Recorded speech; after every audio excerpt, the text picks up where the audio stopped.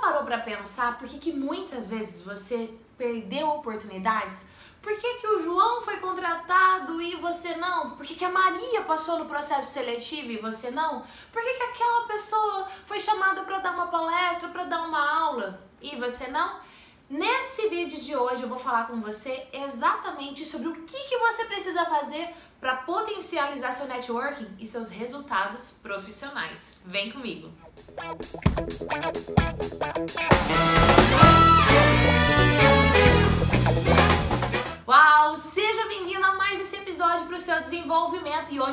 Falar de networking e carreira. Por quê? Porque você pede muito sobre isso aqui. Você não tem ideia do tanto de pedidos desse tema que eu recebo no meu Instagram e aqui nos comentários do YouTube. Inclusive, se você não está inscrito no canal do YouTube, clica para se inscrever e clica no sininho, porque assim, toda vez que tiver vídeo novo, você vai ser o primeiro a ser notificado. E também tem o Instagram onde eu recebo muitas perguntas e respondo tudo lá para você nos stories. Então vou deixar aqui o link do Instagram também. Eu não vim falar desse tema sozinha não, eu estou aqui hoje com a professora Camila Miranda. Camila, seja muito bem-vinda ao meu Obrigada, canal. Gia. Agradeço de coração o convite. Sou sua seguidora há anos, portanto é uma honra para mim poder participar, poder contribuir com as demais pessoas que te acompanham. Gente, eu tô muito feliz pela Camila estar aqui de verdade. A Camila acompanhou os 365, quase todos eu acredito, não foi Desde não? os seis ou sete. Pois é, desde o vídeo 6 aqui do canal do YouTube, a Camila tava lá assistindo, comentando. Se você for olhar os comentários dos vídeos,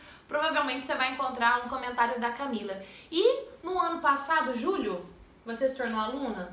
Ah, acredito que tenha. si- Foi no segundo semestre do É, ano passado. Segundo semestre de 2016, não sei quando você tá vendo esse vídeo, mas a Camila se tornou aluna do meu curso online Efeitual Apresentação. E hoje ela tá aqui em Londrina palestrando no Efeitual Presencial. Se você quiser saber mais sobre esse curso, aqui na descrição eu vou deixar o número do- da minha lista de transmissão do WhatsApp. Manda um oi pra mim lá que eu conto pra você quando vai ter uma nova turma. Mas a palestra da Camila, minha gente, foi uau. Uau mesmo e um conteúdo muito importante. E eu quero aproveitá-la aqui para ela contar para você. Eu quero quatro dicas para quem está nos assistindo agora parar de perder a oportunidade e conseguir crescer na sua carreira. Mas antes da gente falar das dicas, fala para mim um erro que você acredita que as pessoas cometem. As pessoas elas têm muito medo de irem até as oportunidades. Elas ficam na casa delas, eventualmente no trabalho delas, esperando para serem convidadas para uma palestra, esperando para serem convidadas para uma entrevista, esperando serem convidadas para participarem de algum projeto, de alguma oportunidade. Eu acho que o principal erro é esperar pelas oportunidades. As oportunidades existem, mas nós temos que ter iniciativa para ir até elas. Chega de esperar. Bota aqui nos comentários, hashtag chega de esperar. Inclusive, já tá gostando aqui? Já deixa o seu like e quatro dicas então, para eu não mais ficar esperando em ação mandar ver. Gi, a primeira dica é investir sempre no seu desenvolvimento pessoal. Eu sou professora há muitos anos, já tinha aí toda uma, uma trajetória voltada para comunicação, para me relacionar com o público, mas eu não acreditei que isso era o suficiente. Por isso eu me inscrevi no seu curso, por isso eu faço outros cursos. Para além da formação acadêmica, é super importante que qualquer profissional invista em crescimento e desenvolvimento pessoal. Então a primeira dica é investir sempre no seu desenvolvimento pessoal. Eu gostei que na sua palestra você falou isso e você falou assim: tem gente que fala, ué, por que, que eu vou investir nesse curso se eu não vou pôr esse curso no currículo? O que, que você tem a dizer? É, tem muitas pessoas que eventualmente elas têm um, um excelente currículo e elas têm muita resistência em fazer investimentos que não vão para o currículo. Por exemplo, eu tenho alunos super tímidos, alunos e alunas, e eu percebo que se essa pessoa fizesse, por exemplo, um curso de oratório ou mesmo um curso de teatro, isso proporcionaria um crescimento para ela. Isso melhoraria a desenvoltura, melhoraria essa, essa introspecção. Só que a pessoa pensa assim: ah, não, eu vou, vou investir num curso de teatro, isso não vai para o meu currículo. É claro que currículo é importante, graduação, especialização é importante, mas desenvolvimento é importante. Eu já vi um, curso de teatro fazer tanto por uma pessoa quanto, por exemplo, um, um curso de extensão. Por quê? Porque esse curso permitiu a ela desenvolver uma habilidade que estava escondida. Então eu sempre falo para os meus alunos: invista em currículo, sim, mas invista em potencializar o seu desenvolvimento.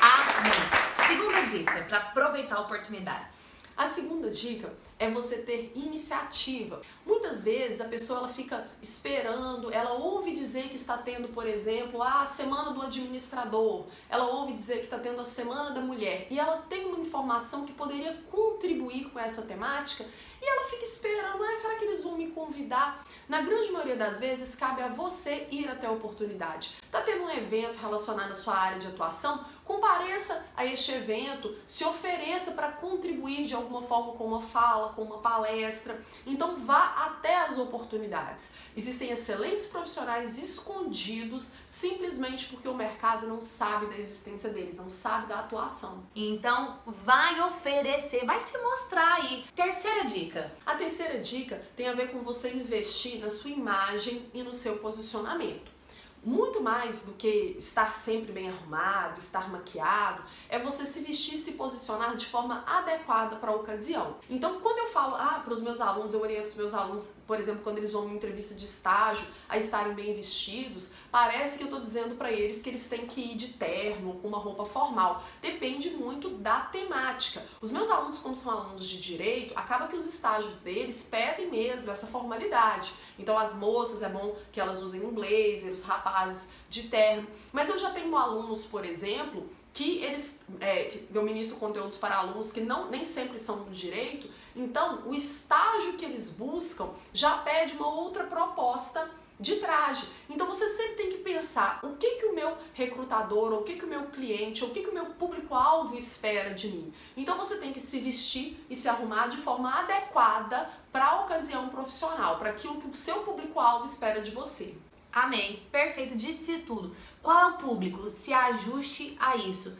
Quarta e última dica, o que, que você tem para contar? Hoje, eu acho que a quarta e última dica é a pessoa acreditar nela, acreditar que ela tem potencial. Tem muitas pessoas que elas têm um potencial imenso, que elas são pessoas maravilhosas, só que elas se prendem a crenças limitantes que fazem com que elas acreditem que elas não são boas o suficiente, ou eventualmente elas foram criticadas em alguma ocasião e elas tomaram isso para a vida, elas têm medo de se expor, de se, se oferecerem para um trabalho, de se candidatarem a uma vaga. Então acreditar no seu potencial. Eu acho que se mais pessoas né, acreditassem no próprio potencial delas, não teria tanta gente boa de serviço esquecida pelo mercado.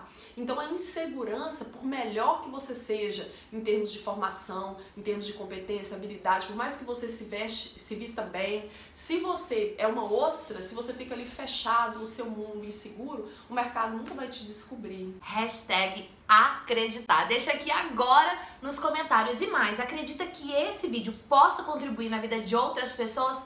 Compartilhe, compartilhou, coloca a hashtag compartilhei que eu quero fazer um agradecimento todo especial a você. E tem mais, esse vídeo não acaba aqui não, eu convido você agora a correr pro canal da Camila, vou deixar aqui o link porque lá ela fez perguntas que eu nunca falei sobre isso aqui na internet. Vamos pra lá?